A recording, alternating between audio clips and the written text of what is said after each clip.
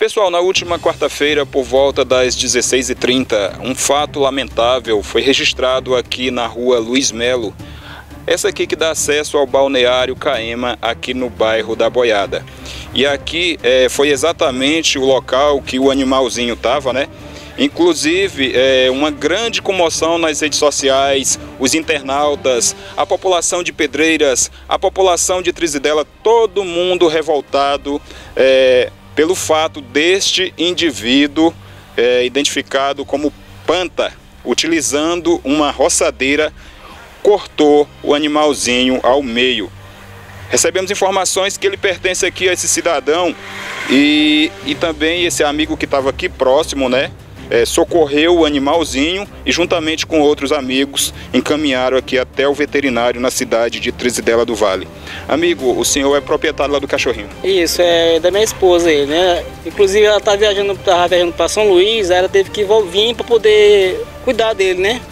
Cuidar dele. Aí ela tá procurando as autoridades para dar parte dele. Inclusive ela vai hoje na delegacia fazer o boletim, né? Para poder ver se ele ser preso, tem que ser preso, né? Porque ele só... O que o senhor acha dessa situação? O porquê que esse indivíduo agrediu esse animal? Ah, porque ele é uma pessoa ruim mesmo, uma pessoa do mal mesmo, né? Porque a pessoa maltratar um animal que não tem não, não, é não faz nada com ninguém, né? Apesar que ele latiu, mas já não era para ter feito aquele negócio, ter cortado o bicho com a foice, né? É verdade que por pouco ele não perdeu a vida. Certeza, ele tá mal, ele tá mal, ele, o cachorro tá mal em casa, tá pegando medicamento, entendeu? Inclusive tá, tem que, eu tenho que ir lá hoje meio-dia, né? Parar aqui o serviço para ir lá com minha esposa, para poder saber como é que vai ser lá, para poder pagar lá o, o, o tratamento, né? Que, é um animalzinho que já está na família há quanto tempo?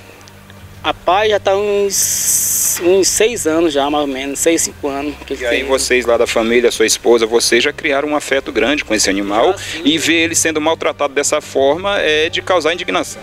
Com certeza, né? Com certeza. Todo mundo está indignado com isso aí. Isso não vai ficar impune não. Tem que procurar a autoridade para estar atrás dele, para aprender, né?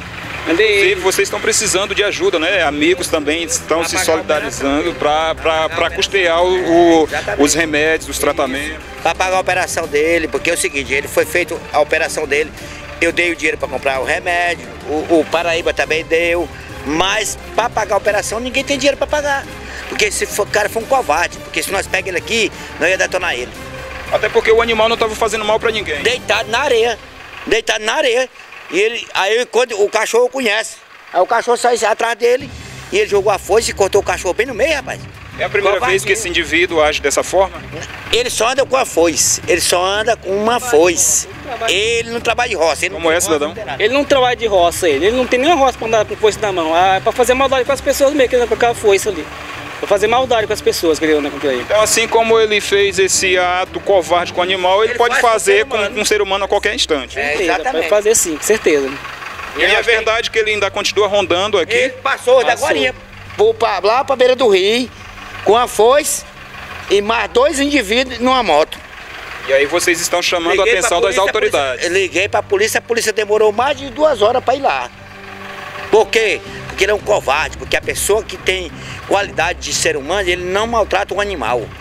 Não maltrata nenhum animal. O senhor presenciou o momento aqui? Não, eu estava dentro de casa, mas quando eu cheguei aqui o bichinho estava sangrando e eu peguei e botei no colo desse rapaz bem aqui, no colo desse rapaz bem aqui e esse aqui levou.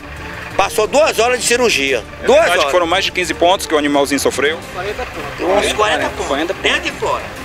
Dentro e fora. Uma situação e lamentável. e ele não tem qualidade de pagar a cirurgia do cachorro. Quem tem que pagar é nós. Então vocês, moradores aqui do bairro Boiada, da rua Luiz Melo, estão é, revoltados é, e quer que a justiça seja feita. Judiar um cachorro não é normal, cara. Judiar do animal não é normal. Judia do ser humano, mas não judia do animal. Porque é covardia. Animal indefeso. Lógico, meu. Lógico, que não tem esse. O cara judiado do animal, não. Como é seu nome, senhor? Dinês. Dinês E eu um... digo a realidade. Porque o cara judiado do animal, ele tem que pagar. Tá certo. Essa é a revolta do seu Dinei, que foi o que um amigo aqui que ajudou na situação que o animalzinho pegou o cachorro no colo e levou até o veterinário. E aqui é o esposo da proprietária, como é seu nome? Regivaldo. Regivaldo. Regivaldo, que mora aqui na, na, na Rua Beira Rio, né? Aqui, é dono disso Mas aqui. só que está trabalhando aqui na obra dele Não, é aqui, é dele, aqui, é dele, né? Aqui.